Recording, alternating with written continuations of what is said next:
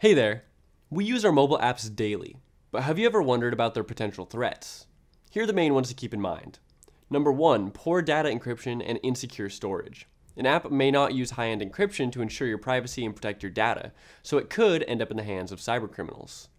Number two, collecting personal data. An app might collect your data for marketing or other purposes, which is usually the case with social media or mapping services, which also track your location. Number three, malware injection. If you install apps from dodgy websites or untrusted sources, you could get infected by malware. The malware may track your actions, gather your info, and slow down your phone significantly. It may even use your device as a proxy for further malware distribution. Number four, no multi factor authentication. Not all apps use it, so if someone steals your phone, they don't need much tech knowledge to snatch your data relatively quickly. Multi factor authentication would make your app safer, and also, don't forget to use a strong password to lock your phone. And number five, insecure Wi Fi connections. While you're out, you probably connect to different Wi Fi networks with your phone.